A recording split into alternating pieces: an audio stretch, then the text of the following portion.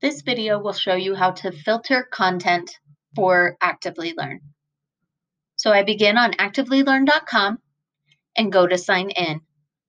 It is very important that you have already signed up for an account with Actively Learn. If you have not, please see the other video linked below to get signed up. From here, I can filter by keyword, content area, grade level, Lexile level.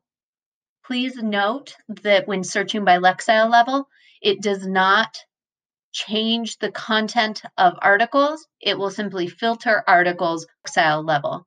This is different than some other products. I can also search by standards. If I click Show All, I can see English, Social Studies, and Science for 3rd through 12th grade. Please note that this product is only a paid premium tool for grades 5 through 12 in Jeffco Public Schools. I can also search by curriculum unit, genre, and theme. These lower filters change depending on which content I have chosen. This is how you find content in Actively Learn.